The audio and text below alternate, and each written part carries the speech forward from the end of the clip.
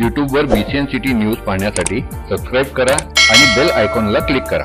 राष्ट्रीय महामार्गाच्या चौपदरीकरणांतर्गत उभारण्यात आलेल्या टोल नाक्यावर महाराष्ट्रातील सर्व पत्रकारांना टोल माफी. त्याचप्रमाणे या महामार्गावरून प्रवास करताना अपघात होऊन मृत्यू आल्यास विमा कवच देण्याची घोषणा केंद्रीय रस्ते व वाहतूक मंत्री नितीन गडकरी यांनी केली आहे. सिंधुदुर्गातील आजी माजी पत्रकारांच्या शिष्टमंडळाने केलेल्या मागासवर्गीय अनुसरून गडकरी यांनी संपूर्ण राज्यासाठीच हा निर्णय घेतल्याचे जाहीर केले. त्यामुळे राज्यातील पत्रकारांना आजपासून टोलमुक्त प्रवासाची संधी उपलब्ध होणार आहे. आमदार खासदार मंत्री स्वातंत्र्य सैनिक यांच्याप्रमाणे पत्रकार देखील समाजासाठी झटत असतात सर्वस्व देत असतात जीव धोक्यात घालत असतात. पत्रकार हा लोकशाहीचा चौथा स्तंभ म्हणून ओळखला जातो. या पत्रकाराला त्याची सेवा बजावत असताना वारंवार राष्ट्रीय महामार्गावरून प्रवास करावा लागतो. त्यामुळे राष्ट्रीय महामार्गावरील टोल नाक्यांवर आपणास टोलमाफी मिळावी या मागणीसाठी सिंधुदुर्गातील पत्रकारांच्या शिष्टमंडळाने माजी केंद्रीय मंत्री सुरेश प्रभू यांच्या नेतृत्वात खाली केंद्रीय रस्ते वाहतूक मंत्री नितीन गडकरी यांची भेट घेतली.